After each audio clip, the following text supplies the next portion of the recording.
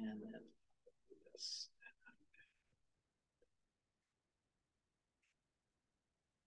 Okay, so like we talked about last week, I like questions. It's good if you brought your Bible today. That's great. If not, I'll be putting stuff up on the screen.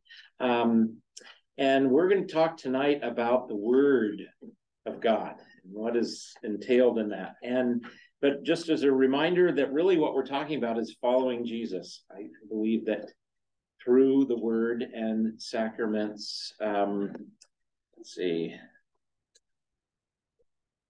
Are you Uh, here for foundations? David. I, I'm in the library.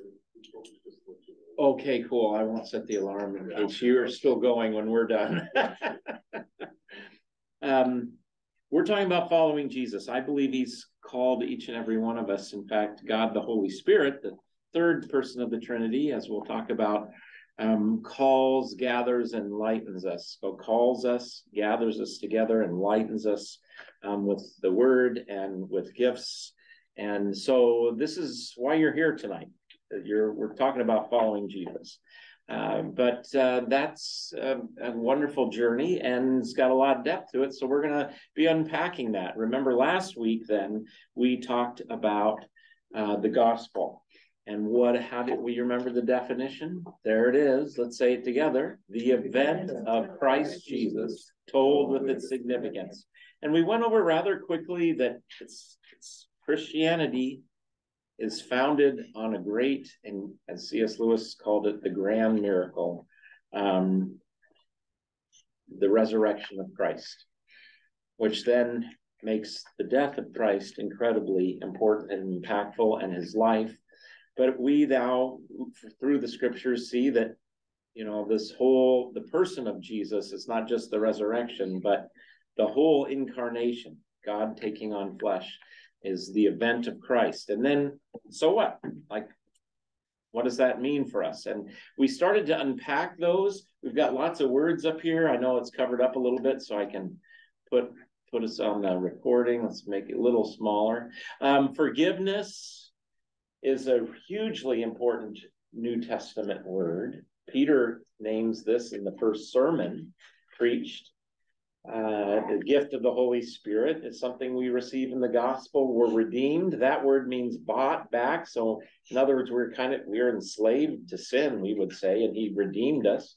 Saved, especially in particular, saved from the problem of death, but saved in lots of ways. We're made whole. That word saved in Greek can either mean healed or saved, made whole or saved. So when Jesus heals someone and he says, Your faith has saved you, it also means your faith has made, you know, brought this wholeness to you.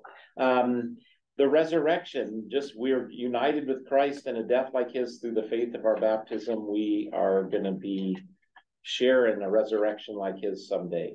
Another great word is God so loved the world. So we have a sense of being loved. Um, and then reconciled, I love this one, you know, when you're at enmity and you've got a problem and strife. Well, New Testament says that's our condition with God, but in Christ we're reconciled. And God did that. God didn't wait for us to do it. God did it in Christ. And it's a gift then that we receive. We have peace. We are we are free, free from the demand of the law to be righteous, which is something we'll talk more about next week when we talk about Luther. Um, oh my goodness, all kinds of words that the New Testament uses to say, so what? What's the significance of the Christ event? Well, those are some great words there. Um, and, you know, we could take four, five sessions just to unpack each one of these, but this is a foundation. So we're just, we're jumping right in. All right. So there you go. That was last week. Um, and so a really important text that again we'll kind of move towards next week a little bit um, for our Lutheran heritage and Protestant heritage. Um, I think it was the Diet of Speyer um, in I forget which what the year it was, but it's the first place that the reformers of the church, Martin Luther, Philip Melanchthon, um, Zwingli, a number of others, they all these people that were going with the ideas of the Reformation, they were called protesters, and that's where the word Protestant comes from. Mm. And so you you know you had the Eastern Church and the Western Church, and then at the Reformation, which again we'll talk about next week, you uh, you have the the Protestant movement. But within the Protestant movement, there's all kinds of you know little expressions, and the Lutheran note is this word apart. Every, all Christians, Catholics, everybody believes that you're justified. That's a fancy word there for being made right or innocent. Um, that's that's what justified means. We don't we don't say in English, for we hold that one is righteous. We we we don't use that word English word that way. But in essence, there's one Greek word justified and righteous comes out of one Greek word. So we are right before God, not because we've done the right stuff and because we've fulfilled the law and done the works of the law, but in fact, apart from the works of law through faith. And if you were to look at the entire chapter of Romans, you'd see it's the faith, faith in what Jesus did for us, his work, life, death, and resurrection. So Luther in his Bible and the way he translated that word apart is alone. And he felt that was the best translation. This is where us and the some of you have some Roman Catholic background, as I recall, a little bit. There's some Latter-day Saint background here a little bit, or in extended family and, and other Protestant things, but all most people say faith's really important. The Lutheran note is that it's faith alone that makes you righteous, faith in Christ, not any of our works. You might say, well, so works don't matter, or are they not important? Luther had to face this challenge all the time. And he said, no, they're very important, but they flow out of faith. They flow out of the relationship. Um, and those are separate.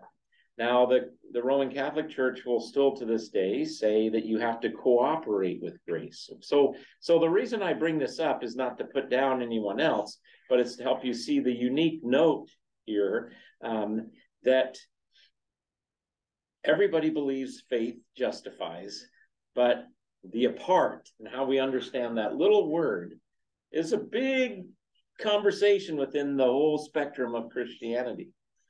Um, for us, we're going to say alone, that it's not the works of the law, and then it'll go on, lest anyone boast. So our justification, our being right before God, innocent, we can't say, well, I did 10%, God, or I did 5%, or I did 50%.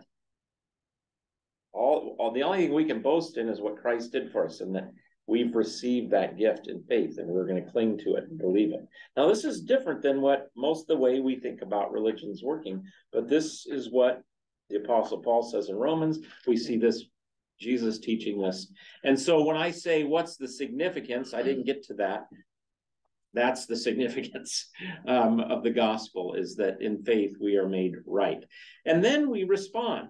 So we believe in the importance of good works and loving your neighbor and all of that, and we're going to talk more about that. But we believe that's a response. Um, another way to put it is because therefore, and we think this order is really important. In other words, um, we don't want to say because we did good things, God accepted us.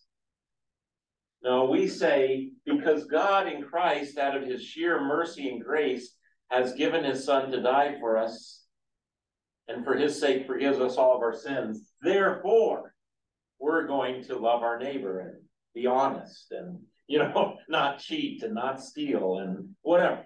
You know, you could throw all the Ten Commandments up there. Does that make sense? This order we think is important. You go back to the Canaanite religions.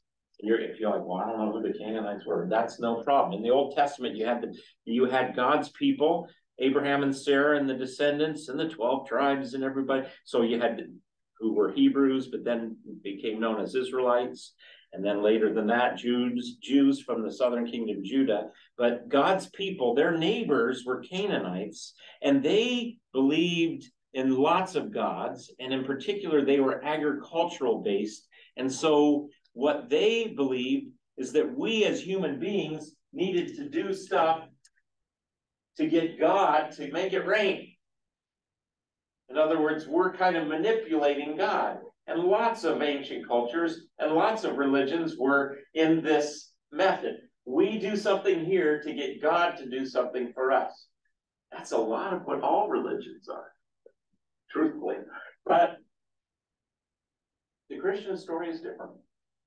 We say we did nothing when, when Luther said, when Paul says in that passage in Romans, apart from the works of the law, there isn't anything we did to get God to give us his favor. He did it out, out of his sheer mercy and love for us. It's a sheer 100% gift. God gives that, and then because of that, we do our good works and our things. And it's a it's a response to what God has done. But you could look at all kinds of systems, you know, that you know, let we do stuff so God will bless us. And that's a contrast. Um, C.S. Lewis, talking about Christianity, said um, all religions are most other religions than Christianity are our search for God. In other words, we're trying to do stuff to get God to accept us. But Christianity is God's search for humanity versus humanity's search for God. That, that, that I think that is helpful. All right, so all of that by way of review. Ask a question. Yes, you can. Please do. Just going back to the faith, um, sometimes I wonder what the Bible says about like how is faith actually measured? Uh, you think of acts of faith, meaning Yep. that it's something that you do, right? And so um, it feels like there maybe is a, a condition in there still that we have faith. And how do you how do you really know? You know, we talked last time about the faith of a mustard seed, Mm-hmm. and so sometimes I struggle with knowing. You can say you have faith, right? But how do you know truly that you do? How do you you know you actually have faith? Yeah. I would say faith is evidenced sometimes by your actions, right? But then it goes into works, right? So I struggle with that. Yeah, it's a good struggle. What do you think?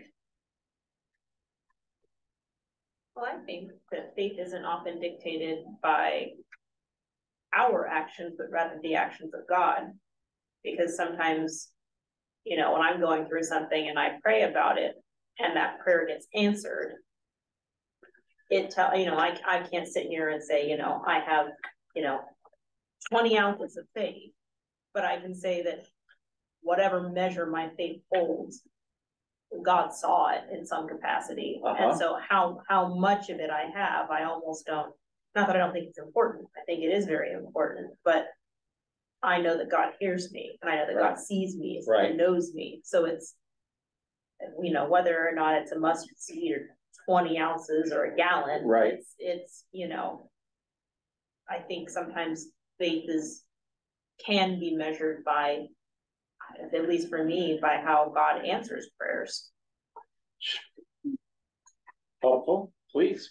Um, I think in the Gospels, it talks about by their fruit you shall know them. Yeah, So there's evidence by what we do that, that gives assurance that we have faith because we respond to what God has done by faith, which is evident in what we do. James talks about that. yeah, I know Luther had a problem with James, yes, but James talks about the difference between faith and, and works. right, And Because you show me your faith, I'll show you my works. right. So. Faith without works is dead, James. The, the Yeah. epistle of straw, as Luther called it. Yeah, Yeah, by the way, he called it the epistle of straw, not because it wasn't important, but what it- in a manger, what's in the bottom of the manger? Straw. Straw. And what did Jesus lay in? Straw. So, so that's, that's important to remember when we, because Luther did struggle with the letter of James. Paul, very helpful. So, you know, if there's some works, then that's evidence that there's faith. you can't, you can't, you can't say, well, I've got works and, and, and say that's it. Right, I, I, it's, it's like a train ticket that says faith on one side and, and works on the other side, and it says void if detached. Ah, yeah, yeah, yep. Yeah.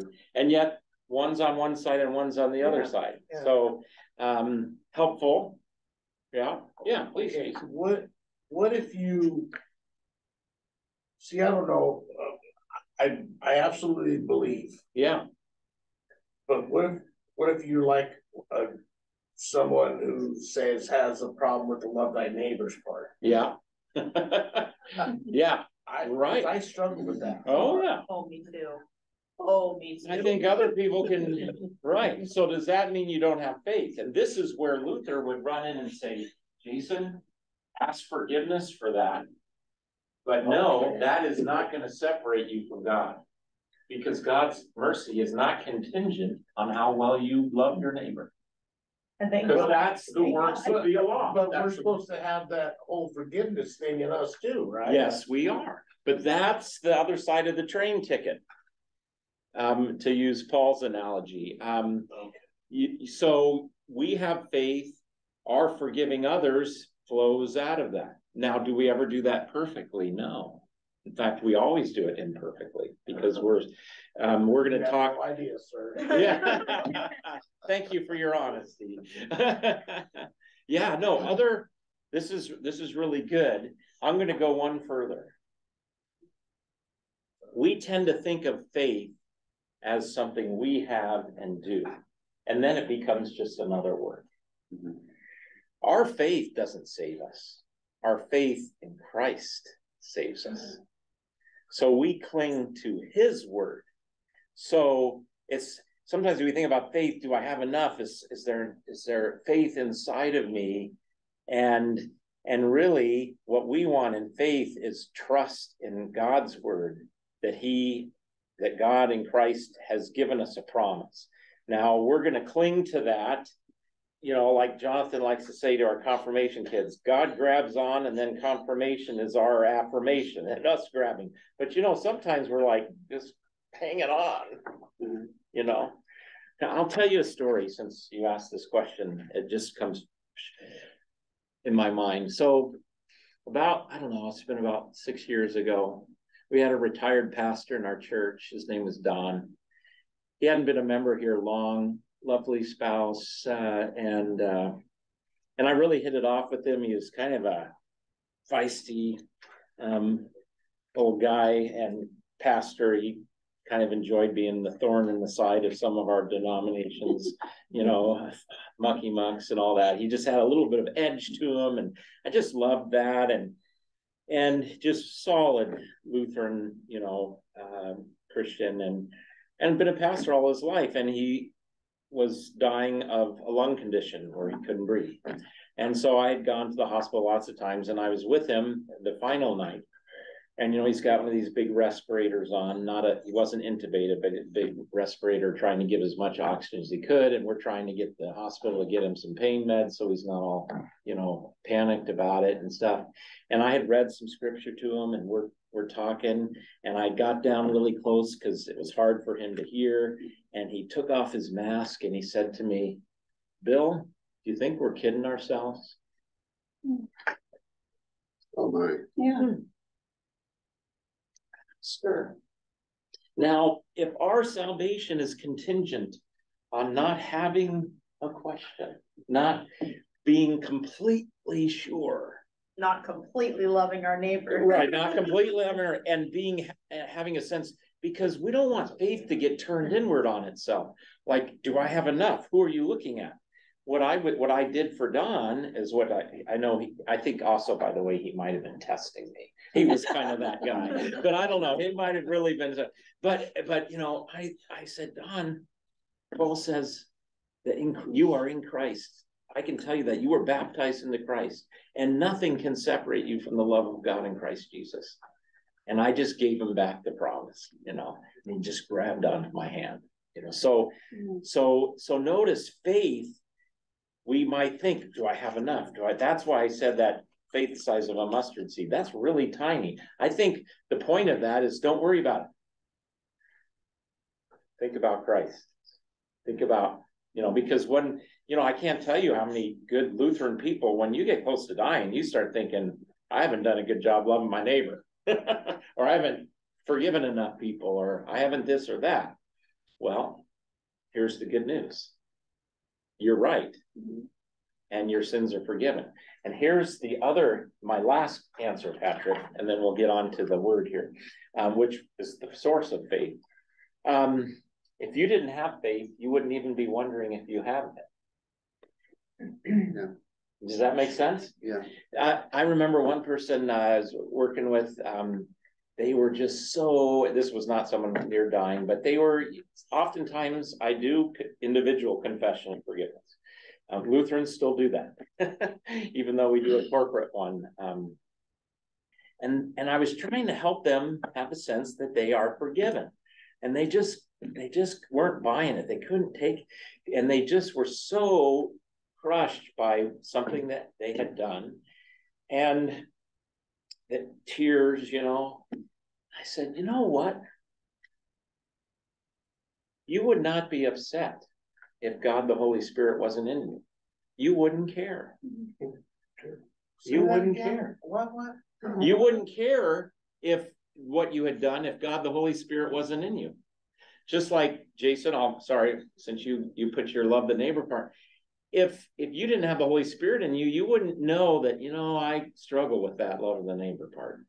I don't care. You you see what I'm saying? So if you didn't have God working in your life, I don't care that I don't I've struggled to have forgive. Good, I'm glad I don't forgive people. You know what I'm does that make sense? Uh, yeah, yeah, because, well, see, here's the thing. The, most of my life, Yeah, and I, I think we've talked about this. Sure. I've been an angry dude yeah, up until about ten years ago or so, Yeah. right? yeah. And, and that all started changing or whatever, but I, I've always carried a lot of mm-hmm. guilt that I don't do the love thy neighbor Yeah. or what is said to do in the Bible. Yeah, Does that mean I'm not doing right? yeah, And, and I struggle with that a lot. yeah, yeah. And, and what I want to tell you is that in the name of Christ, you are forgiven. And that makes you right before God. The struggle, the fact that you're now struggling, the fact that you're now struggling with it is a sign that the Holy But I always have too. Yeah, That's the yeah, thing. yeah, but I'm not, well, the whole, God, the Holy Spirit's been working, you know, Okay. all kinds of things. That's it, that's it. I never thought about that. Yeah, absolutely. Hey, So Pastor. that's what I want to say to Patrick too. You got faith because you're wondering if you got enough, you know, or if it- you really have it. I don't know if I'm, I think did we go afield from your question? Yeah. I'm a very linear thinking German. you Yeah. know, I'm always looking for the formula. you Yeah, know, And so it's, it's a challenge for me because I, I would prefer a very formulaic way of salvation. yeah, Um, than this concept, which is a lot more abstract and kind of squishy in some yeah, ways, you know? yeah, yeah. Yeah, Can well, say maybe. J- yes, please, Julie, Well, um, I'm just gonna share please. through, you know, the journey that I have. Um, if I have any struggle with one person, I pray for that one person, Yeah, even though he's my neighbor, my coworker, or, you know, mhm, or my patient, mhm. you know, um, because they're there like, you know, bubbly and, hey, you know, I'm having a, a good day and, you know, encounter people. But I always tell people that I need, if you struggle with one person, you have to pray for them. Mm, Because that's the only way, because, you know, you are, uh, practicing your faith and Mm. trust with God. And I always recommend that, because, you know, by grace, even though it's gonna happen now or later, you'll see the transformation. Yeah, And I'm sure it will also lighten your, your life and, you know, your daily. Yep. You know. Your daily. you know, Struggle. yeah. Yeah, struggle. Yeah. Hey, that's a very helpful thing. I think Jesus says in the Sermon on the Mount, pray for those who Mhm. you know, whoa. But again, that's, and that's a strive, that's what we strive to do, but it's so cool that our justification doesn't depend on our scorecard on that. So we don't get as human beings, no, it's sheer gift. We do that now because that's what, well, first John, it says, we love because God first loved us. So, so there's the because and therefore.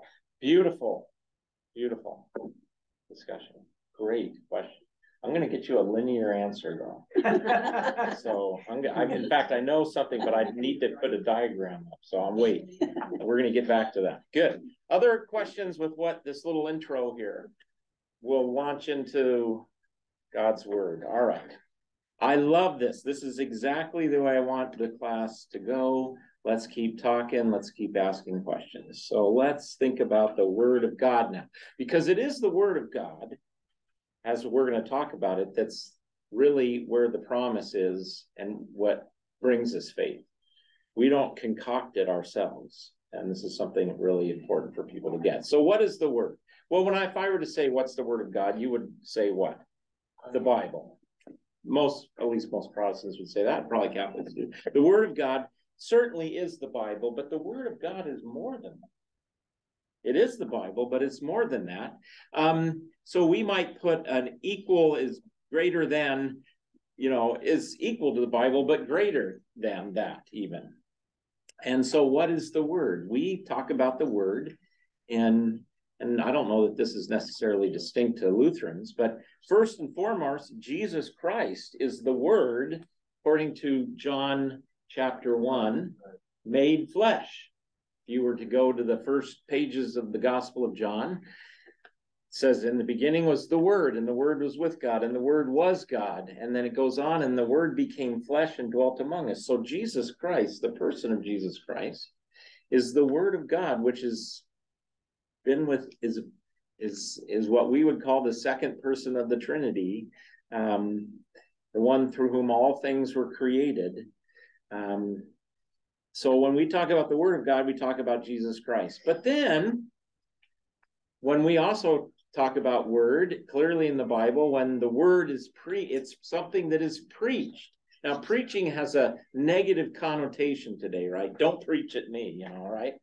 But man, it's such a good word because true preaching is not preaching at, but it's giving people the goods. It's giving them the gospel. And so we are going to say that the word is the proclamation of the message about Jesus is the word of God. And you might say, wait a minute, it sounds like the gospel. Yes. The word and the gospel are very intricately connected here. And then, of course, yes, the written word of God, the scriptures the old, I don't know how I get rid of this little. Put it up there. Okay, how about that? Um, uh, the Old and New Testaments, 66 books of the of of the canon, we're going to call. Um, and so let's just get that there. There's the three things: Jesus, the message, of the gospel, which we are going to talk about. The message of the word is law and gospel, and we'll, we're going to unpack that tonight. And then the Bible. So we think about three things when we think about the word of God.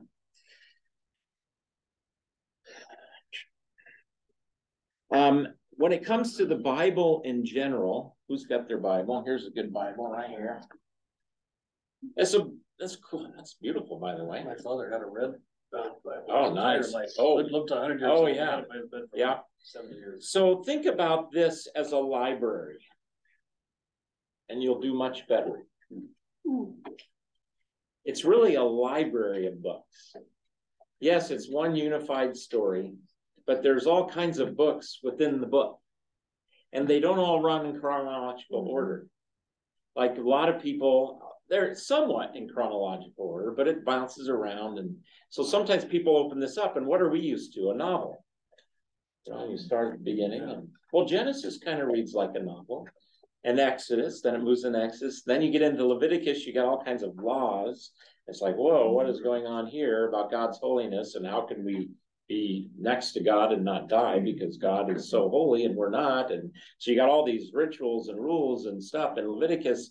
Um, and then Numbers, which in Hebrew the title is wandering. So then we jump back into the wilderness where the people wandered and wandered and wandered because you know, be, they wouldn't believe, and so God didn't take them into the promised land. Finally, they get to go in the promised land, but then Moses gives a second telling of the law. That's what Deuteronomy, onomy law, second telling. So there's, so that's what Deuteronomy is, and it's a long sermon, way longer than anything Pastor Bill has ever even conceived of. It's like you know, chapters and chapters and chapters. Well, so And then we get into historical books, First and Second Samuel, First and Second Kings. That's a novel right there about the history of Israel. Um, you've got poetry books. You've got wisdom books. You so it's a library. And then when we get to the New Testament, you've got four stories of Jesus's life with its significance. And then you've got a story of the early church in the letter in the book of Acts. And then you've got a bunch of letters by a guy named Paul to the early church.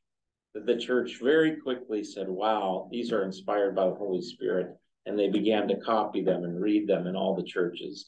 And you've got some other letters from some of the apostles. And then you've uh, then you've got this interesting apocalyptic book called Revelation in the end of the. So it's a library, all telling the story. Sorry, I'll get you back to John one. Um, but that's a good way to think about it. As we just, you know, I know we got lots of different levels of experience and in the faith and all of that. So think about the Bible as a library. I think that will help you. If you want the Bible in novel form, I'll, I don't have this on anything well, I guess I could have written it here, couldn't I? Yeah.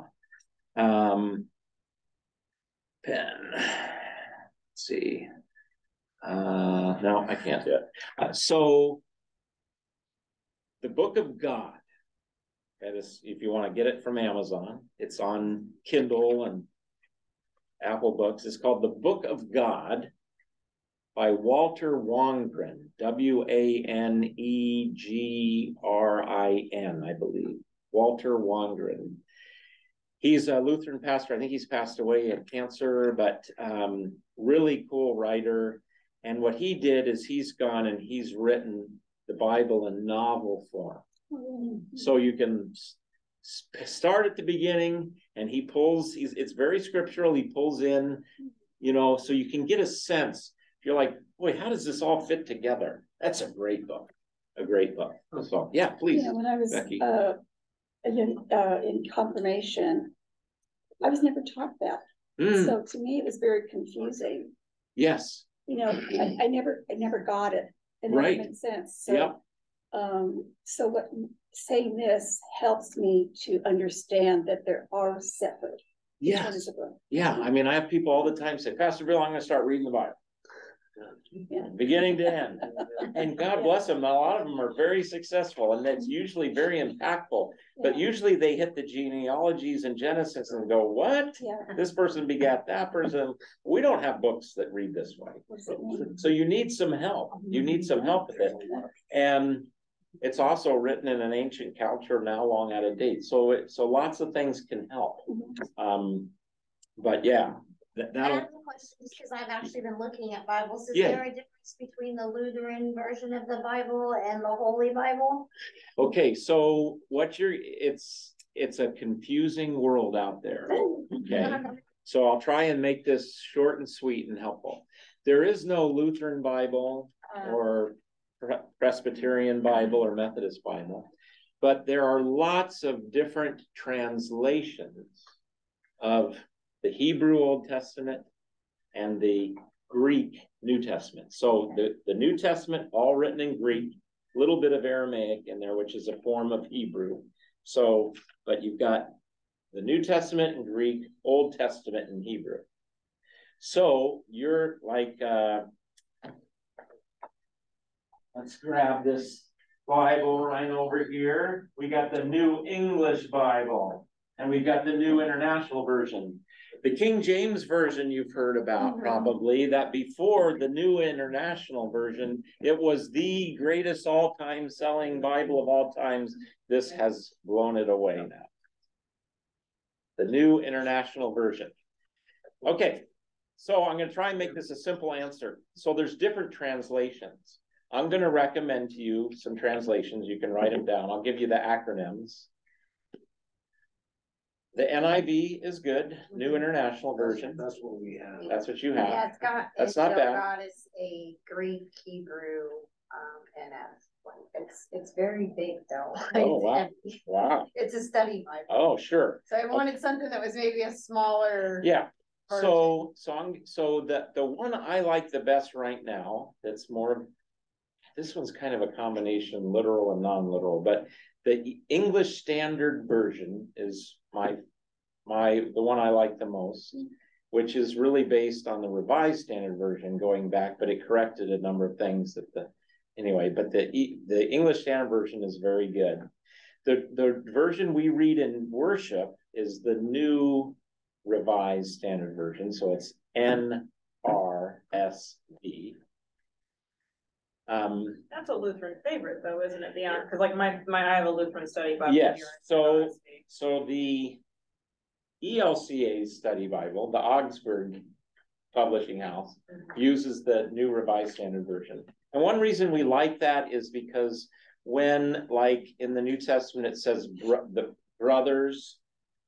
That be- because we know Adelphos included the whole community, including women. The NRSV says brothers and sisters. Mhm.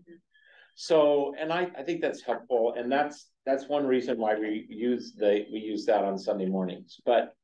So it is a favorite. The Missouri Synod, another group of Lutherans, use the ESV, the one I just mentioned. No, and I love the ESV Yeah, too. That yeah. was the first study Bible I ever bought. Yeah, there you go. So, so Chrissy, what, what I'm first telling you is there's a lot of different translations. And I would recommend the New Revised Standard Version, the New International Version, or the English Standard Version. There's dozens and dozens of more. Yeah, I know that. Now, then, clear. then your next question though is if you want to get a study Bible. Yeah. And I think study Bibles are great, but just remember that those notes are coming from a human being's perspective. Yeah, You got the Lutheran Study Bible, you've got the, this kind of study Bible and that kind of study Bible, and they're usually really helpful, but just know that's not the Bible. right. Okay. So that, you wanna have one of those in your repertoire. But I'm gonna go and throw in another one that's a little bit, um, I don't know if any of you guys remember the Good News Bible, um, Good News. And, and that was okay. But a better one now, I think, is Eugene Peterson's The Message. It's called The Message. It's, I don't like to use it as a in Bible studies, but when I'm just reading, sometimes I like it because what he's done, rather than translating, okay, here's this Greek word, uh, for justification, you know. He doesn't just say, okay, which English word is gonna fit that one and translate. He takes the whole paragraph, what does it mean? And then use, you know, t- tries to translate the idioms and, and he, he's dy- they call it dynamic equivalent. In other words, it's not a word for word translation, but it tries to put it into a way that makes more sense. What's that? Thought by thought. Thought by thought, yeah, that's helpful. So having one of those, having the message along. But I don't really consider it a translation. It's, but it, but it, it kind of is, you know, but it's just a different kind of translation. So that's my recommendation. Um, What about the Living Bible? It came out in six. same thing, yeah, there's the good news for modern man and then the living Bible. I've only seen that. Um, I think Peterson has done a jo- better job th- than those other two in, in really getting at the actual part. I think the Living Bible just kind of goes off the rails sometimes and trying to make it so understandable that it kind of changes what it means. All right, so Christy, great question. Everybody's got that question. And, and there's actually a longer answer, which I'll get to in just a minute. Okay, all right, so there you go. Excellent. Some statements about the written word. The Bible is the manger that brings or holds Christ. See that? Look at that. It's a manger. Brings me Christ. That's what Luther said. Um, the Bible is a set of love letters to the human race. I think there's a lot of truth to that, but there's a lot. And then he'll go on to say, well, not all love letters are all squishy and lovey. Sometimes it says, you, you know, you know, you said what happened in your day today and this and that, or, um, so it's not bad. Um, this is something that, uh, the president of my seminary, many, you know, thirty-five years ago or so, um, said that kind of struck me in a book that he wrote. The Bible is indeed the norm for life and the very heart and center of our faith. We do not worship the book, though, but rather we worship the Christ it reveals. So we want to be this this book is sacred, but it's sacred because of who it brings me and the story and the revelation of God that it brings. And I think that's a helpful distinction.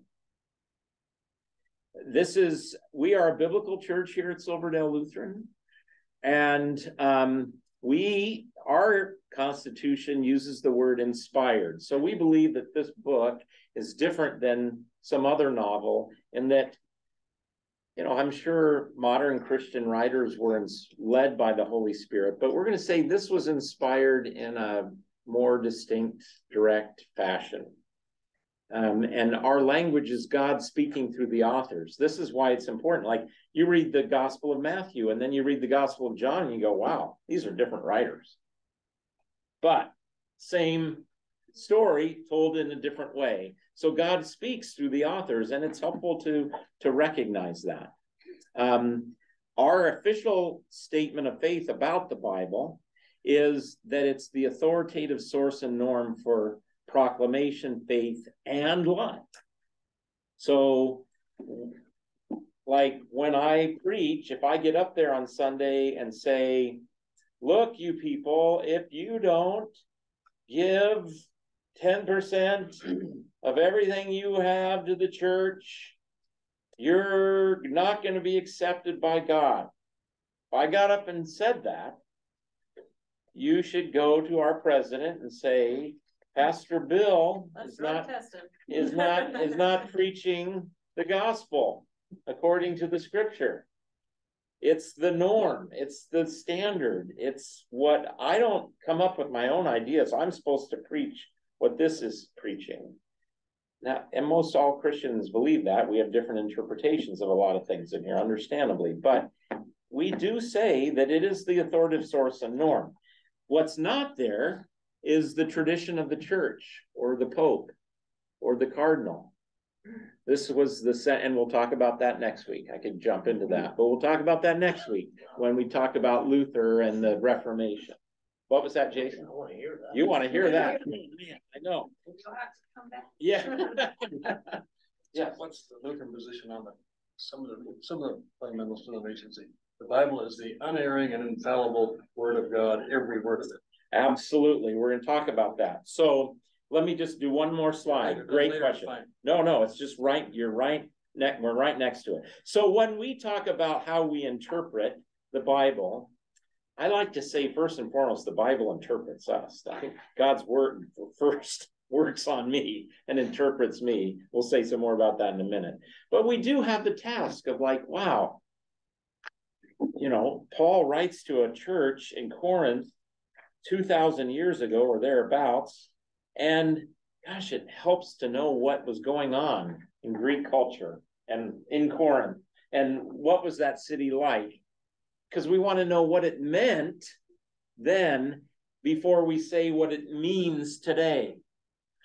A quick example, we'll get to this way down the road, but for instance, many Christians like this church and our denomination, so to speak, our national church, believe that it's good and right for women to preach the gospel and they can be on the church council and be in leadership position. Other Christians reading the same book say, no, no, says right here, women can't do that.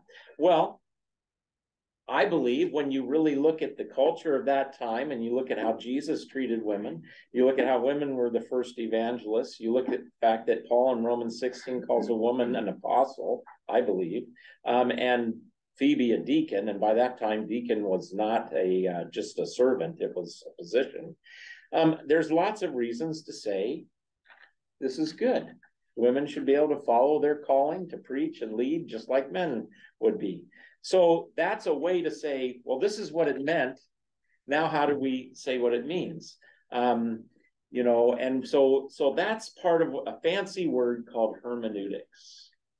That's like the process of how do we apply what the Bible has said. Now, at this point, before we get to the inspiration issue, um, and what we mean, like Kyle was asking, but what do we mean by inspired?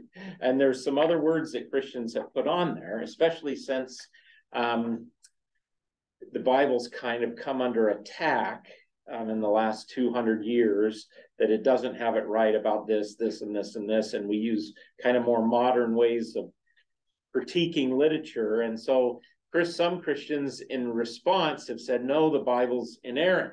There are no errors and it's infallible. And so we've added some words and some of them are helpful and maybe some aren't. But um, just before I get there, here's the question. Um, is the Bible clear? Are the scriptures understandable? Christie's no, I've read some of it and I don't understand. And that, so my answer to my own question is no and yes. There's lots of stuff that is a head scratcher, but the core stuff is crystal clear. You're justified, you're made right by faith, not by works, lest anyone boast. That's clear. Jesus lived the life of a servant. He died on the cross for our sins, was raised to make us right. Clear, straightforward. I don't need an interpreter. But this is what the, and this gets a little bit ahead of the game here. The, uh, when Luther said, scripture, not only faith alone, but word alone and scripture alone, as opposed to the Pope, the Catholic Church came running in and said, the scripture is too unclear. We need the church and we need the Pope to tell us the definitive word. And Luther said, no, we don't. It's clear. It's right there. So, so that's, but yeah, of course, there's stuff we don't understand in this big book, but the, the root, the course thing is not unclear. So let's, let's uh, do the, uh, the, um, the inspiration issue. Really, it's a matter of authority. If the Pope isn't the the man, the person that has all the authority, and the Catholic Church doesn't exclude the scriptures, they just say the Pope is, you know, the one that, you know, is the the go between, I guess, and um, and is a and the church's tradition goes alongside the the Bible. They work together, and and uh, Luther when he did his Reformation, said it says right there in the Bible that you can't do that. And the church said, just shut up, Luther. The church says. the church says. So, you know, Luther wanted to have a debate. We'll get there next week. I can't stop it. I can't stop wanting to go there. Okay. Um, but really, we want to ask where does the Bible get its authority, Kyle? So that's perfect question. Does it get its authority by being a perfect book? with no errors, no problems, no issues. Um, and I want to say that's not where it gets its authority. It gets its authority because it brings me Jesus Christ and the resurrection of Jesus. That's because of that event. Now the rest of this has authority in my life. So the perfection inerrant theory and circular is a little bit of a circular argument. And this is what I mean by that. Um, how do you know the Bible's inerrant? Because it says so. Well, how do you know? So it so the Bible says it's inerrant, but how do you know it's inerrant? Because the Bible says it's inerrant. so you get into the circular argument, and then you get into battles of, you know, do you really believe in the Bible if you think there's an error? Like, and what am what am I talking about here? Well, maybe uh, maybe a biblical author said a town was here and it actually is over there. I don't know. You know, and scholars come up with these things like, oh, this guy got it wrong. Oh, does that mean the Bible then? We throw it out? You know, that's my concern about inerrancy. If you could, and I don't even want to go there, like prove that this, you know, was this author was mistaken or something about something. That because that's not where the Bible gets its authority. It's you know, I, I think it's a good debate to have. Jason, yeah. Okay, this is an argument I've had a bunch with my mom. Yes. I, for the longest time, like the Bible, they say it's okay. I'm what I'm saying is over the however many thousands of years the Bible's been on earth, right? Yeah. There's been preachers or or people of faith or whatever that weren't so proper that I think have manipulated the Bible for their own ideology or something like Yeah. that. Mhm. But now what you're saying, and, and I, I don't know if that's true or not. I Yeah. just, that's Yeah. what I always thought. Yeah, no, very helpful. None of that matters though. Um, None of it matters that it's, if, if, even if it has been manipulated in certain ways because the message is still there about Jesus. So Well- even if they mess with it, it's still good. right? okay, um, it doesn't take away from its authority that some people have misinterpreted and misapplied it. They've used it for selfish gain, that even the devil quoted the Bible to Jesus. So if that's what you're saying, I'm not sure if it is, that people throughout history have made this say all kinds of things that maybe it doesn't say. Yeah. Yes. Manipulated it for their own Manipulate. ide- ideology. Absolutely, absolutely. It's called reading into the text rather than letting the text. You And, know, and even if that's the case though, it doesn't matter. doesn't discount this, that some people have abused it. Okay, cool. Absolutely, Because that's been a struggle of mine for a long time. absolutely.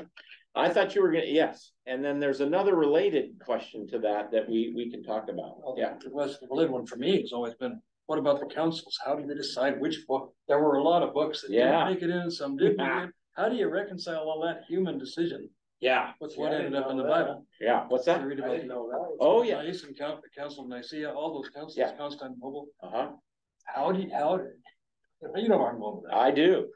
And I just love it. The adult Bible study has been going into serious depth about the Bible. I don't know if you guys have been in adult Sunday school. for the And with the couple of exception of two of those sessions, that unfortunately, because the devil messed them up, no. Are they The devil uses technology again, that were not recorded, they are all on YouTube channel, our Silverdale Lutheran. Yeah, they're really interesting. And it's called The History of the Bible.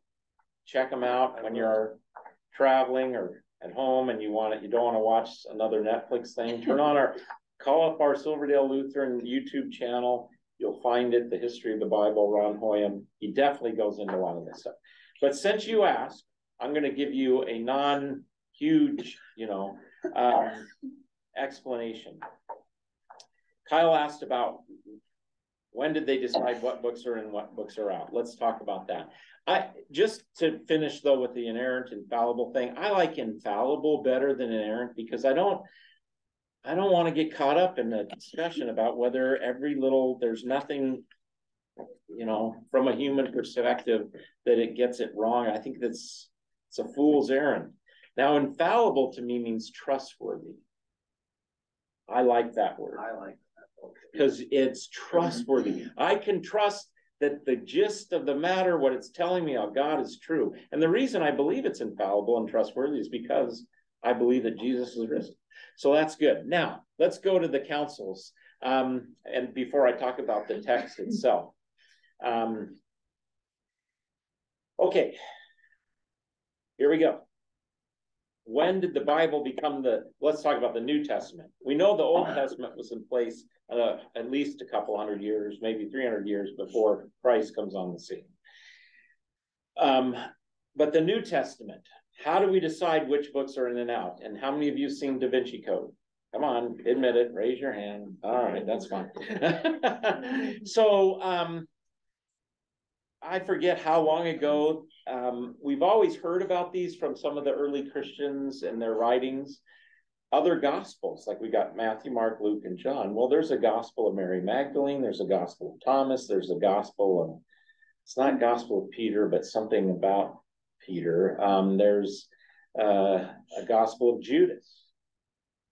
You know, it's like, what, you know, and so the Da Vinci Code and Dan Brown, uh, by the way, it's a completely fictional book, although Dan Brown says he thinks otherwise, but he, he is the master at making you think that something means something when it doesn't. But nonetheless, in that movie, in that book, he has a bunch of older men in a smoke-filled room deciding what books are in and what books are out. Right. Hmm, hmm, hmm. Um, one, the Council of Nicaea didn't even talk about the canon. They were talking about the divinity of Christ. So that wasn't even talked about in the Council of Nicaea, with the exception of one thing, which I'll say in a minute. That was later in the Council of Constance that you talked about and others where the church said, okay, these are the books. And there was some discussion. There was some disagreement on some of the books. Those books are Second Peter, Jude, Revelation. These were books that had some controversy and debate about them. But not enough to keep them out of the canon. And in, in the Council of Nicaea in 325 AD, Constantine, who the Roman emperor becomes a Christian of sorts, I guess you could say, and his mother is definitely a Christian. And uh, he's like, we, you, the churches, we're all reading these books. Which books are the books? Um, and he didn't want a, necessarily a decision, but he said, I want to buy, I want to, I want a collection because I want these books to go out to all the empire. So he said, but the problem, as the bishops and the leaders of the church, we haven't ever decided which books are in and out. So what this is what they decided to do. It's so brilliant. It's so cool. They got together and they said, which books is there no or almost no controversy about? It's called a minimalist canon. And they came up with those books. And in three lines, three columns, and four, it says in threes and fours, and I'm pretty sure that means three columns, and you'll see a picture of one in a minute. Three columns and four columns on each page. By that time, they were doing the Bibles on animal skin. And they're all handwritten, of course.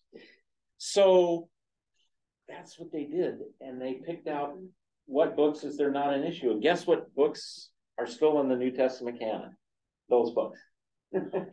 um, how did, where was the choice?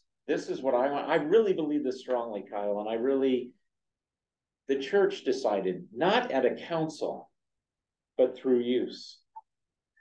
The four gospels, as far back as we can go, were the ones that Christians were reading as the authoritative word. Yeah, there was this gospel of Thomas we heard about. We didn't even have a copy of it until just I don't know, I forget when the Nag Hammadi library is found, but we didn't even, we heard people talk about it, we didn't have a copy of it. And if you read it, you go, this is bizarre.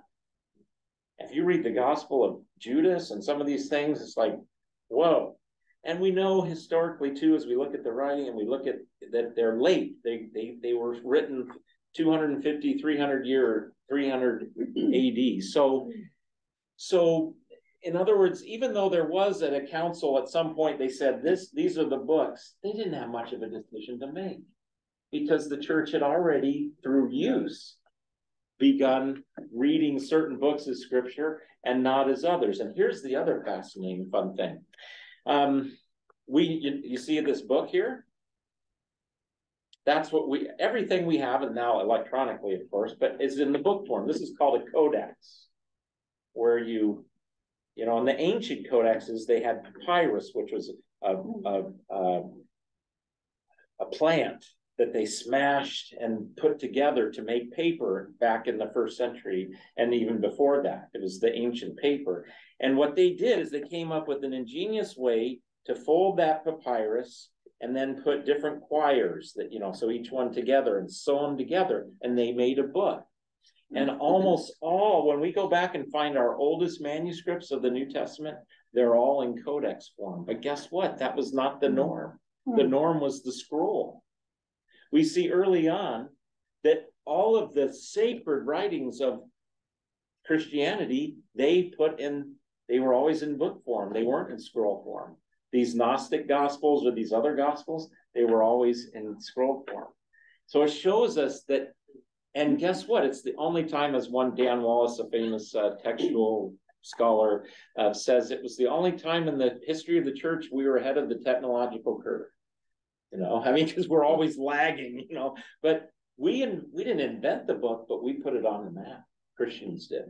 And so so that the answer to that question is a complex one, and Ron goes into it a lot in that. But what, what I want to say is that just through use, it was already decided it wasn't a bunch of smoke guys in a smoke-filled room saying, "I don't like that gospel. Let's get that one out of here." We want to. Uh, there's another book out by uh, oh man, he's been so impactful and it's so sad. um,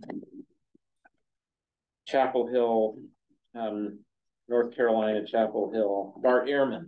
He's written all kinds of books about this, and he basically says when his one book is called How Jesus Became God. And his thesis is that Christians never thought Jesus was God. Early Christians, the disciples, the, the followers of Jesus. And then the church over history, hundreds of years said, we're going to make this guy out into a divine being, into God. And so he, he basically says that, you know, at the Council of Nicaea, they were like, okay, these other books say Jesus is something different. Let's get rid of them. The church had already gotten rid of them because they didn't read them. They didn't believe in them. You know, they didn't read them as scripture. So, so that's really a great question and really helpful for me to say. All right. We are going to have to skip this next section. And but we'll come back to it, okay? Because I don't want to just give you a head trip today, tonight. We're going to talk about the Dead Sea Scrolls at some point. We're going to talk about New Testament manuscripts and all of that. And but we're not going to do it tonight. Sorry. Because I want to get, oh, this is the New Testament stuff. I'll explain all these different things because I want you to know that going back to Christy's question, the translation you have is, I think, a very accurate giving to you of the originals. But again, that's being challenged today. I want to talk about that. So, principles interpretation, we've already done that really. But bottom line, let me say this when scripture is unclear in one spot, we then go to another spot. We let scripture interpret scripture. There's, you know, and so that's a really important thing. We do try and understand it in its original context as best we can. Um, and but but I want to get to in our last 20 minutes what the word does. You know, we're talking about the Bible. My goodness, let's talk about what the Bible does. What does the word of God do? All right. So, um, art. Yeah.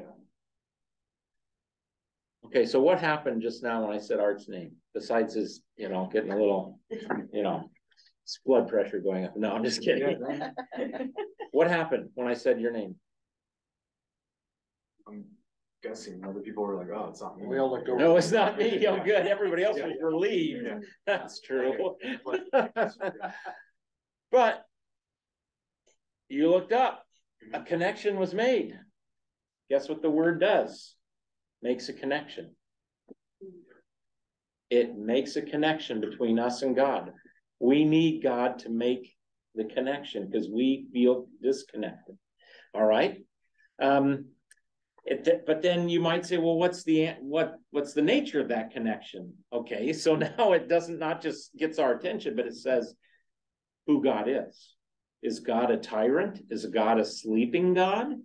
Is God an absentee landlord like the deists and Benjamin Franklin and Thomas Jefferson thought? He's an absentee landlord, gave us inalienable rights and laws, and he's he's out of here. The watchmaker. The watchmaker, yeah. Um, what is the nature? And the biblical story says God is love, and God does love us, and God is absolutely committed to being in relationship with us. And that's a part of the connection. So that's what the word does. And it talks about the nature of our contact. Um, and so, what does the word do? It really is that which creates faith, sustains faith, and nurtures our relationship to God. So that's what the word does. And now, how does it do that? How does it nurture our faith? How does it keep us connected to God? We're going to talk about a certain lens. Everybody has a lens that you read the Bible through. We read it through our own personal experiences. But I want to, so we can't not look at it through some lens. And this is the lens that we look at the Bible through, and it's the lens of law and gospel. So I'm going to unpack law and gospel in our remaining 15 minutes or 20 minutes. That's our lens. In fact, Martin Luther, our namesake, said that if you don't understand the difference between law and gospel, you are not going to be able to read the Bible correctly. you're gonna throw in the towel. Or you're gonna read it and think you're all perfect and become a hypocrite. Um, you're, you're not gonna get it right. You have, that God speaks to us through his word in two distinctive words of law and gospel. You need to distinguish those. All right, so let's, what is that? So law and gospel. Um, you brought your Bible, some of you. If you, uh, can turn to the first book of the Bible, which, and flip over to the third chapter. And if you don't have it, it's totally fine. I think I can just put her up here for you. And we go over here to here and we'll go Genesis three, eight. So, um, just to review the story, God created, everything was good. God created Adam and Eve. He gave, he put them in a garden that was beautiful and wonderful and had a tree of life where they could eat from it and live forever. But God put one limitation in the garden, the gar- the tree of the knowledge of good and evil. And he said, don't eat it. Don't eat of this fruit. Well, the old tempter, I, I, I, the serpent, it's a, in the Bible, in the Genesis, it's the snake or the serpent, but I think the devil was speaking through the snake. I don't think snakes are evil. um, but we get this tempter coming, and the tempter starts with Eve. Has to work quite hard with Eve. Like, did God really say that? And no, he just knew you'd be like him if if you eat of that tree. So that's why he said that. Don't believe that, et cetera, et cetera. Um, and on and on. And then Eve does eat and gives the fruit to Adam, and Adam just was an easy, uh, and he eats. And so they do what God said not to do. And this is where we pick up in the story. And I want you to hear this to understand what we mean by law. Now, what do you think, though, before we start reading, when you think of law, what do you think of? Rules, Mhm. right? Ten Commandments, rules. Drive 60 miles an hour on Highway 3, or you will get in trouble. You will get a ticket. um, you know, I don't, don't, no, don't need to confess. That's all right. Um, you know, boundaries, rules. Yes, that is law, but we want to go to what do those laws actually do to us? What, how do they function?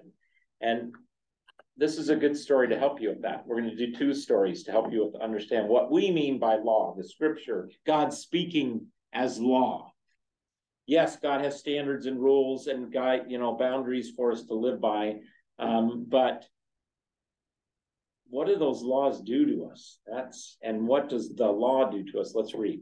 And they heard the sound of the Lord God walking in the garden in the cool of the day. And the man and the, his wife hid themselves from the presence of the Lord God among the trees of the garden. Okay, wait a minute. What? Why do you hide? Because you're scared? You did something wrong? You're guilty? Right. Other words, ashamed. Survival. Yeah. yeah. Now, remember, just before this, everything was good and they had all this and everything's beautiful and, and God is walking. Notice the very uh, human, earthy, God is not some, God is walking among the garden in the cool of the day. He's right there with them. And now they are hiding. So when scripture gets us to start thinking about where, what's going on for me, and look what God asks, asks. and he said, um, you know, uh, um, but the Lord God called to the man and said, What? Where are you? Did God know where he was? Yeah, but doesn't every mom do that though? Like, or dad Yeah. with their kids, like, where are you? Where are They you? know where they, you, they know where they are. They're That- just like, you better come out Yeah, here. that's right. God knows where Adam and Eve are. So where, what is he, who's he asking the question for? Them. Right. Where are you? when you read the scriptures and you go, where am I? Am I in unbelief? Am I in anger? Am I in bitterness? Where am I? Am I hiding? The scriptures working on you as law. Of course, what does Adam do? I heard the sound of, now I'm going to do a little oral interp. You can decide if I get this wrong or not. And I heard the sound of you in the garden, and I was afraid. Um, um, um, oh, because I was naked and I hid myself. Now, yes, now he, they know that they're naked and they have this. Is that why he was hiding? Maybe part of it. No, he's hiding because of what you guys already said. He he blew it. They blew it. And they're hiding, they're running away now. Now, the Bible does say that the fear of God is the beginning of wisdom, but this is not that kind of fear. In the Bible, uh, our kids, our confirmation kids with Pastor Jonathan came up with a perfect word. It's awe spectrance. Say that with me. Awe spectrance. Awe, respect, Oh. and reverence. Oh, That's biblical fear. That's the good fear. Awe, respect, reverence. This is like, I'm terrified, I'm out of here. That's what happens when you know you've blown it. And so God comes almost like hunting for them, you know. Uh, this God who is good, now they're scared of every little leaf noise, you know. And and so they're hiding. And then Adam comes, he he just April used perfect by using the parental thing. You know, what if, if it's tough when you only have one kid. If those of you who are only child children, I'm so sorry because you didn't have another kid to point the finger at. you know, um, so you know who did it? I've got two dogs, you know, and sometimes they get in, one of them gets in the garbage, and I'm not putting a camera up to find out which one did it. But you know, I mean, so you know, he comes up with an excuse. And so who told you that you were you were naked? Have you eaten of the tree of which I commanded you not to eat? Verse 11. The man said, The woman you gave to be with me, she it's her fault. That's what I said, of course. Of course. The ladies know this is nothing new. So what does he do? God comes to him and he points to Eve. Okay, well, let's go to Eve. The woman you gave to be with me, she gave the fruit of the tree and I ate. Then the Lord God said to the woman, What is this you have done? The woman said, It's the snake's fault. The snake deceived me and I ate. Um, yeah, interesting, interesting, interesting. Um, Linda, I think you said, what did you, I thought I heard a word. What you just said, scape, did you say scapegoat or escape? I don't know. I, I thought, I thought I heard you say, mm, I said it's always someone else's fault. right. So first they disobey and then they what? They blame. They, and they deny. There's actually one word that they will not say. It's the shortest word in the English language. No. Not that, no. Shortest word. I, uh, mm, take a guess. They won't say I. mm. Oh. I did it. They point. And in fact, somebody else got blamed. Did you catch that? God, God. This is Adam. The woman you gave, you gave. It's your fault, God. Wow. There's one word, when the Bible come, when you read scripture and you go, oh man, I did it. See, God's trying to get them to say, I take responsibility. And what we see is something gets exposed. Our denial of God, our blaming other people, our blaming even God. It's your fault, God. When scripture comes and you go, oh man, that's law. Here's another great one for those of you who have your Bibles and you can find uh, Second Samuel. This is one of the most famous scenes in the Bible. Second Samuel 12. This is after another lovely person in the Bible, King David. Second Samuel twelve, verse one. You remember King David, somewhat, a lot of, we got a lot of religious background here. So King David was a God, a person after God's own heart. He, God had pointed him king, said no to Saul. David's the king. He's done all these great things, but you know, power corrupts and what? Absolute power corrupts. Absolutely.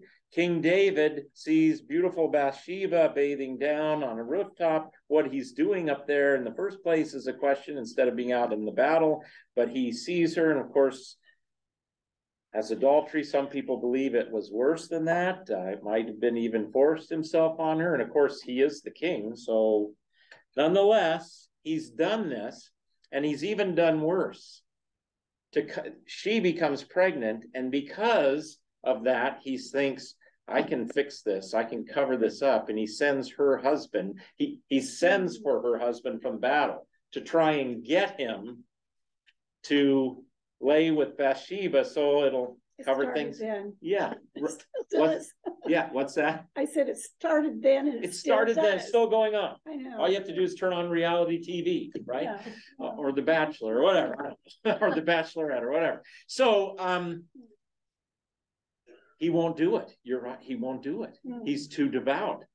So he comes, he won't go into, be with his wife, but so David sends him back and he says to his general, put him on the front. Mm. So he'll be killed. Mm. What do you call that? Murder. King David has had adultery and committed murder. But is he feeling sad and bad about it yet? No, he's doing what Adam and Eve did. No, I'm fine. Here comes the prophet. Here comes God's word. Look what happens. And this is a man after God's own heart. Right? So This gives me a lot of peace. there you go. Like How so? selfishly, this gives me a lot of peace because I mess up every day. And I don't know that God would ever say that I was a woman after his own. I mean, I don't know. Yeah, right. But. I mean, David is, is, is written as a man after God's own heart and Look what he did. he takes advantage of a woman going through a purification ritual when he knows that she's ovulating. I mean, Yeah. that's why she's having that ritual back. Right, right. And then he's like, I know how to cover this up. Homicide. Yeah. Um, now, I don't think that any of my sin is any greater or lesser than anything that David did here. But I can say that knowing God's forgiveness and the depths of his love for me, this gives me a lot of peace that there's nothing that I could do that would separate me from the love of God. Yeah, beautiful. I mean, when you read the Bible, if Makes you me not want to commit homicide. Yeah, you don't, much. that's good. That's, that's a good thing. We don't want to do any of the things David did. But when we read the characters of the Bible, we go, wow. I thought everybody in the Bible were all these perfect saintly people. Mhm. I, I don't think God can accept me. Oh, yeah, And he, a man after God's own heart. I know, that's right. All right, so, but, but God is concerned about this. It's not like God doesn't care. In fact, God is very upset about it. So he sends Nathan, which is a prophet, which is the word of God. Look what Nathan does. He came to him and said to him, uh, David, there were two men in a certain city, the one rich and the other poor. The rich man had very many flocks and herds, but the poor man had nothing but one little ewe lamb, which he had bought, and he brought it up, and it grew up with him and with his children. And it used to eat of his morsel and drink from his cup and lie in his arms. And it was like a daughter to him. It sounds like my golden doodle. Sorry. Um, now there came a traveler to a, the rich man, and he was unwilling, though, to take one of his own flock or herd to prepare for the guest who had come to him. But he took the poor man's lamb and prepared it for the man who had come to him. Well, then David's anger was greatly kindled against the man, and he stood up and said to Nathan, As the Lord lives, the man who has done this deserves to die, and he shall restore the lamb fourfold because he did this thing, and he had no pity, Nathan. And Nathan says, You are the man. Hmm. Hmm. the most, the per, when we talk about God's word coming to us as law, this is it. Mhm. When you, and sometimes that happens when I read the Ten Commandments and I go, hmm. You shall not bear false witnesses to your neighbor. And then when I realize what that means is that I should put the actions of others in the kindness of lights, I go, I'm the man. Didn't do that. Jason, you were talking earlier about, you know, I love your neighbor with all your heart, soul, and mind. Is that gospel? No, that's law. When I hear Jesus say that, I go, oh, yeah, I didn't do that. You might even say, well, the Ten Commandments say you shall not murder. Yeah, thankfully I haven't done that, but it also means you should help preserve somebody else's life. Well, I haven't done much of that, or I haven't done as much as I could. So scripture comes and you, it hits you. and says, you are the man, the thing that Adam and Eve won't say. But thankfully, that's not the only way scripture comes to us. But so many Christians and so many people in the world think that's what the Bible's mainly about. Rules. Never forget, we're gonna go over just a few minutes, I'm sorry, but we gotta finish, we gotta get to the gospel, but I'll never forget in my neighborhood. I was, we moved in, moved the other, across the town in Lodi, a little bit bigger house, our kids were getting older. New neighborhood, it's a hot summer's California afternoon, and Sandy and I are, you know, around noon, and we we're going for a walk, we went around and we came around and the neighbors two houses down from ours were out, they were, you know, there was a group of people, they were having a party and they were drinking some beer and, you know, having some food and and Sandy says, wow, that looks so good. Can I have one of those? Now, here's the thing. They knew somehow that I was a pastor. And you would have thought, you know, you're asking, you're going, your wife is going to drink a beer? And I said, yeah, me too. Give me one of those. Now, I know that alcohol is poison to some people and I'm not disregarding that, but what do, what did they think a pastor and Christians are about? Law. Bingo. People think that's what the faith is, a bunch of rules and regulations. Yes, that's important, but here's the thing, you know what those rules and regulations are supposed to do first and foremost? Yes, they set a boundary for your life and help you live, and so things are good. We need the ten, Com- wouldn't it be great if our whole culture respected the Ten Commandments, you know? We wouldn't have to lock our doors at night and blah, blah, blah. But but that's that's a part of what the law does. But the main thing the law does is it makes us say, where are we? Are we believing and trusting in God? Are we running from God? Are we hiding from God? Are we just are we, you know, it says you are the man, you are the woman. But then right when that happens, God's word also comes to us as promise and gospel. Um, in the Old Testament, there's tons of gospel. Guess what? God would forgive David. Now, there were consequences to what he did, but God forgave him Yeah. because he repented. Psalm 51, the most important confessional psalm in the Old Testament, it's David crying out for forgiveness. So, right when we get hit with the law, God right then brings in the gospel. Yes, but I love you and I forgive you. In as much as the law has done its work and we're really sorry for our sin, I forgive you. That's what repentance is, is to be sorry for your sin. And he then gives us the gospel and gives us forgiveness and grace. Um, there's some great past stories in the, um, this is one I love. Jesus was uh, in the synagogue on the Sabbath, and just then appeared a woman with a spirit that had crippled her for 18 years. She was bent over and quite unable to stand up straight. When Jesus saw her, he called her over and said, Woman, you are set free from your ailment. He didn't ask her, You know, do you believe? Do you this or that? He said, Woman, stand up. You see, when Jesus touches us and forgives us, the law bends us over and knocks us down, and we feel rotten, and our conscience is inflamed, and we're feeling like we're, oh, I, I, God isn't going to accept me. That's right at that point, God brings in the gospel. That's what Jesus came here. And sometimes Jesus preaches the law himself. He said in the Sermon on the Mount, You must be perfect like your Father in heaven is perfect. Are you serious, Jesus? Yeah, he did. He said that. That, the, that's the standard of the law. You think you can keep the law? Well, there you go. Be perfect like your father in heaven. No, Jesus preaches the law. He is the gospel and he says those things. Yes, to get us to strive and, you know, but mostly to get us to come to the foot of the cross. Remember how we talked about what the gospel, the event of Christ with its significance? That is what the law does. It says, you need this. you need what Jesus did for you. Um, lots of scriptures, but we're over time, so I'll finish with my little story here. Go back to my PowerPoint here. Um, there are some passages I was going to read. The Corinthians ones about God reconciling us to himself. It's very important that you know that the law and the gospel is in the Old Testament and the New Testament. It's the new isn't the gospel, the old isn't just the law. It's probably weighted more that way. It's a different covenant. We'll talk about that at another time.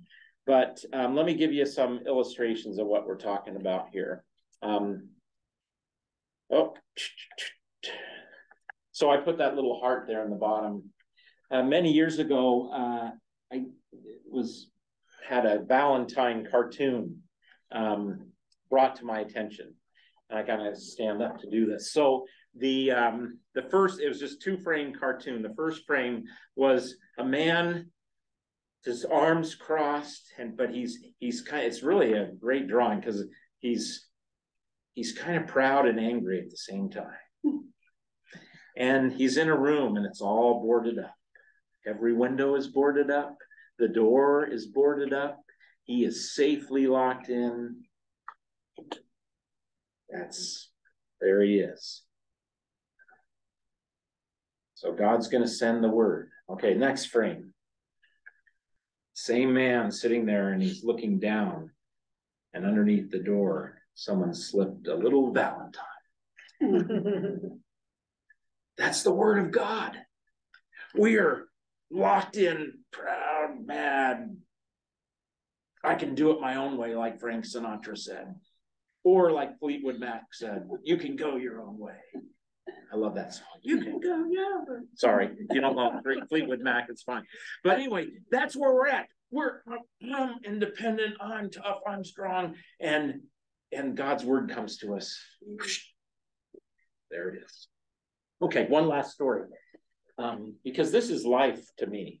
I almost threw in the towel on Christianity because I didn't understand this distinction. Because when I was honest with myself, I didn't keep the law. I wasn't, I was trying my best, but I knew it didn't measure up. I mean, and I was like, I can't do this. I mean, I, I was so on fire for the Lord. I prayed three hours every night with my friends. I'd fall asleep praying. And that was fine. That was good. It was great. It was a time in my life. But I just was like, I was going to be Jesus' follower if it killed me. And it almost did because I didn't know the gospel. Hmm. I just knew the law. So, um, any of you guys remember Mayberry RFD and Andy Taylor? And some people, some of you are too young unless you watch, um, uh, you know, reruns. You should look it up. If you've got young kids, there's some stuff that you might, but that's a great show. Anyway, um, Andy Taylor's the sheriff. Opie is his son. Um, what's Opie's real name?